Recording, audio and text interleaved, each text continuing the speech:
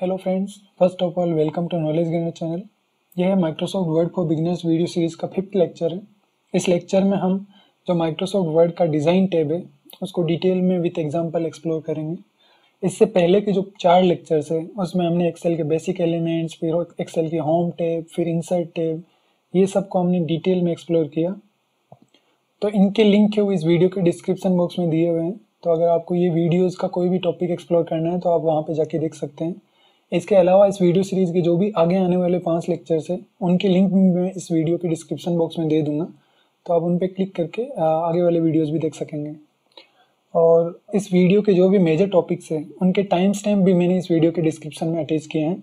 तो आप ये वीडियो अगर कोई एक स्पेसिफिक टॉपिक के लिए देख रहे हैं तो आप उस टाइम स्टैम्प पे क्लिक करके डायरेक्टली उस टॉपिक पे जा सकते हैं। जस्ट टू क्लेरिफाई इस वीडियो के लिए मैंने माइक्रोसॉफ्ट वर्ड का 2016 वर्जन है, वो यूज़ किया है। तो चलिए शुरू करते हैं। तो डिज़ाइन टेब में जैसे ही हम यहाँ पे आएँगे तो सबसे पहले आपको थीम्स दिखेगी, फिर आपको यहाँ पे डॉक्यूमेंट फॉर्मेटिंग ये सब ऑप्शन दिखेंगे। तो सबसे पहले हम कोई टेक्स्ट एंटर कर लेते हैं। तो मैं लिखता हूँ equals to R A N D और आप यहाँ ब्रेकेट डालना है और एंटर करना है। तो आप यहाँ देख सकते हो कि एक रेंडम टेक्स्ट है, वो ऐड हो गया।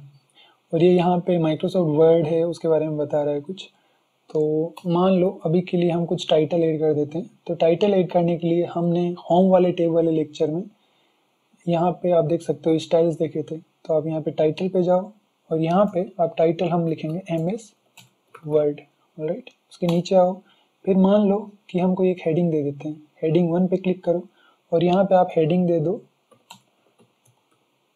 डिस्क्रिप्शन ओके तो ये अपना हेडिंग हो गया। अब हम फिर से डिज़ाइन वाले टेप पे आ जाते हैं। अब आप यहाँ पे जो भी टाइप को आपको थीम चाहिए, आप वो थीम यहाँ पे सेलेक्ट कर सकते हो। राइट तो जैसे हमें ये थीम चाहिए या ये, या इंटीग्रल तो यहाँ पे बहुत टाइप की थीम्स है तो आप ले सकते हो। आप reset to theme from template उस पर क्लिक करोगे तो देखो ये रिसेट हो गया। या फिर मान लो कि हमें अभी के लिए ये वाला थीम अच्छा लग रहा है तो हम ये थीम पे क्लिक कर दिए। इसके अलावा थीम्स वाले ऑप्शन में आपको, आप ब्राउज भी कर सकते हो थीम्स खुद से ब्राउज करके कोई अच्छा थीम है, वो सेलेक्ट कर सकते हो। करंट थीम है, उसको सेव कर सकते हो।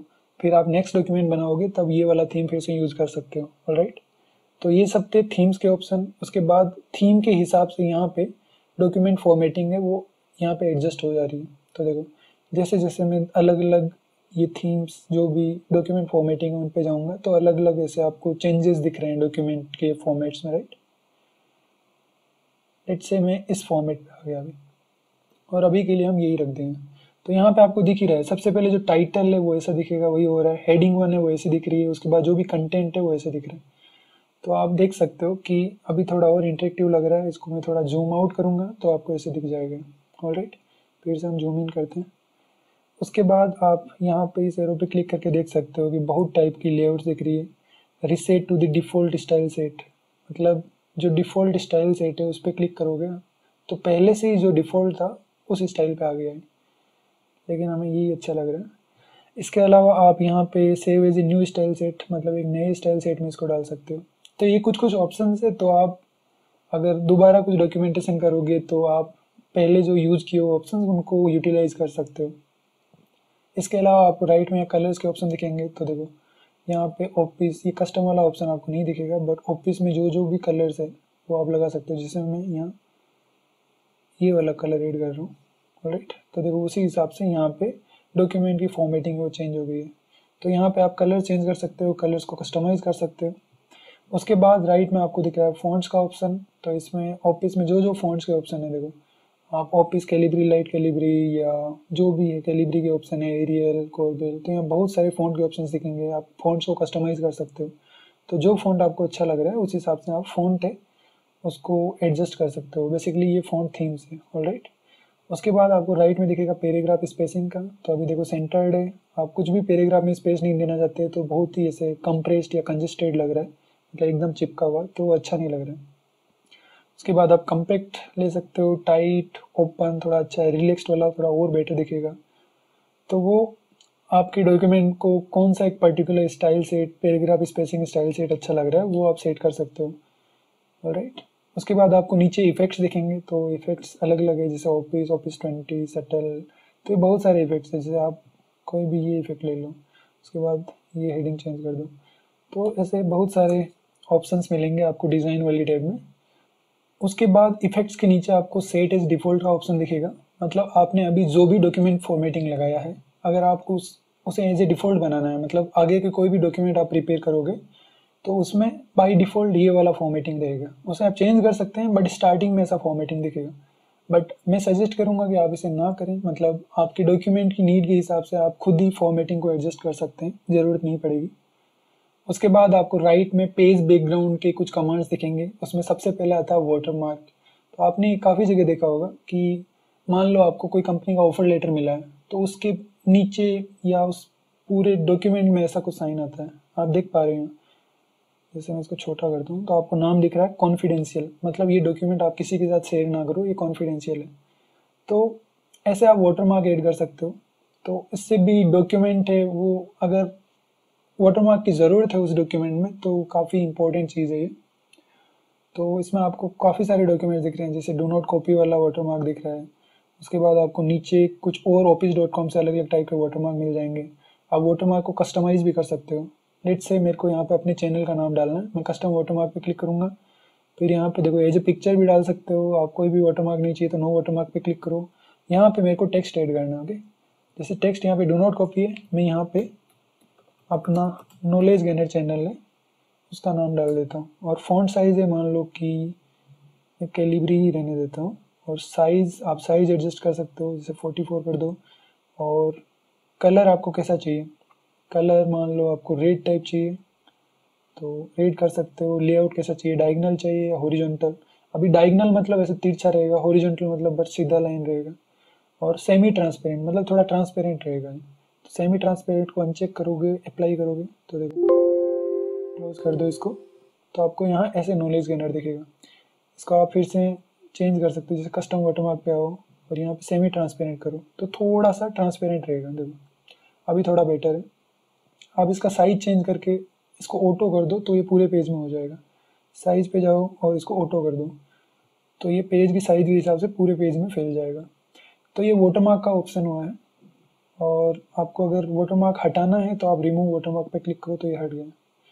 ऑल राइट उसके बाद आपको वाटरमार्क के राइट साइड में पेज कलर का ऑप्शन दिखेगा। तो आपको अगर पेज कलर करवाना है तो जैसे मैं यहाँ पे मान लो कि ये वाला कलर डाल देते हैं। नोट ये लेट से ये वाला कलर थोड़ा ठीक दिख रहा है। तो इससे क्या है कि आप अगर एज ए पी प्रेजेंट करवा रहे हो तो अच्छा दिखेगा। बट अगर आप इसको प्रिंट करवा रहे हो तो ये कलर नहीं आएगा। लेट से मैं प्रिंट लेआउट देखता हूँ। कंट्रोल पी या कंट्रोल एफ़ टू दबाते ही आपको प्रिंट लेआउट दिखेगा। तो देखो, इसमें कलर नहीं दिख रहा है। आप फिर से ई e की ब्रोस करोगे तो आप फिर से आपने प्रिंट लेआउट या जो आपका होम पेज था, वहाँ पे आ गया है। और तो आपका पेज कलर है, आप अगर डॉक्यूमेंट को प्रिंट करवाओगे तो उसमें रिफ्लेक्ट नहीं होगा। लेकिन वाटर मार्क है, वो रिफ्लेक्ट होता है। तो मान लो मेरे को कॉन्फिडेंशियल वाला जो वाटर मार्क है, अगर मैं कंट्रोल पी दबाऊँगा तो देखो डॉक्यूमेंट में कॉन्फिडेंशियल या नाम आएगा। राइट तो वाटर मार्क है जब आप प्रिंट करवाओगे तो उसमें रहेगा बट पेज कलर है, वो नहीं रहेगा। आप इसमें नो कलर कर सकते हो, कोई कलर नहीं चाहिए तो। आप इसमें और अलग अलग टाइप के कलर्स या फिल इफेक्ट्स है, उनको भी देख सकते हो। उसके बाद डिज़ाइन टेब में जो लास्ट ऑप्शन आता है, वो है पेज बॉर्डर्स का। मतलब आपको अगर इस पेज पे बॉर्डर लगाना है तो इस पर मैं जैसे क्लिक करता हूँ, और यहाँ पे मैं बॉक्स लगा देता हूँ। ऑल और विड्थ इसको जैसे मैं बढ़ा देता हूँ, और ओके कर देता हूँ। तो देखो, यहाँ पे एक पेज बॉर्डर लग गया। आप ये जो बॉर्डर है पेज बॉर्डर उसको कस्टमाइज़ भी कर सकते हो। तो इसके लिए देखो, आपको यहाँ पेज बॉर्डर पे जाना है। मतलब जो पहला टैब है, वो बॉर्डर्स का है, उसके बाद पेज बॉर्डर्स का है। इसमें आप आर्ट में जाके अलग अलग टाइप के आर्ट्स है, वो भी सेलेक्ट कर सकते हो। तो आपको जो भी आर्ट ठीक लगे, उसको आप सेलेक्ट कर लो यहाँ पे। ऑल राइट जैसे मैं ये आर्ट सेलेक्ट किया और ओके कर दिया। तो देखो, थोड़ा और अच्छा दिख रहा है। किसी को इनवाइट करना है इनविटेशन कार्ड देना है ग्रीट करना है। तो इस टाइप का आप पेज बॉर्डर अच्छा पेज बॉर्डर सेट करके इसको यूज़ कर सकते हो अच्छे से। और भी इसमें कुछ कुछ डॉक्यूमेंट है कि ये सारे डॉक्यूमेंट पे अप्लाई करना है या सिर्फ़ पहले पेज पे अप्लाई करना है तो वो तो आपको अंडरस्टूड है क्या होगा। इसके अलावा आपको अगर कोई एक पर्टिकुलर पैराग्राफ के लिए बॉर्डर देना है तो आपको उसको सेलेक्ट करना है पेज बॉर्डर्स पे जाना है। यहाँ पे देखो बाय डिफ़ॉल्ट ये सेकंड जो टैब है उस पर खुल रहा है पेज बॉर्डर पे, आपको बॉर्डर्स वाली टैब पे जाना है और वहाँ पे आपको, आप देख रहे हो अप्लाई टू पैराग्राफ और दूसरा ऑप्शन टेक्स्ट का है बट हमें पूरे पैराग्राफ पे बॉर्डर अप्लाई करना है तो वो रहने दो। और मान लो, अभी के लिए मैं एक बॉक्स है, वही इसका बॉर्डर सेट करता हूँ और ओके कर देता हूँ। तो देखो, अपने पैराग्राफ है उसके आगे एक बॉक्स लग गया है मतलब उसका खुद का एक बॉर्डर लग गया तो ऐसे ही आप और जो भी पेज बॉर्डर्स के ऑप्शन हैं, उनको अपने एंड से एक्सप्लोर कर सकते हैं। तो ये डिज़ाइन टेप में उतने भी ज़्यादा ऑप्शंस नहीं थे कंपेयर टू होम और इंसर्ट टेप बट हमने जो भी ऑप्शंस एक्सप्लोर किए हैं थीम्स फिर document formatting styles colour font paragraph spacing watermark page colour borders तो ये आपको अच्छे से समझ आए हैं। अगर इन टॉपिक्स में से किसी पे भी आपको डाउट हो, कुछ भी क्वेश्चन हो तो प्लीज़ कमेंट ज़रूर करें। अगर ये वीडियो अच्छा रहा, आपके लिए हेल्पफुल रहा तो प्लीज़ इसे लाइक करें और अपने फ्रेंड्स के साथ शेयर करें। अगर इस चैनल पर आप फ़र्स्ट टाइम आ रहे हैं तो प्लीज़ इसे सब्सक्राइब करें। Thank you for watching till the end मिलते हैं अगले वीडियो में।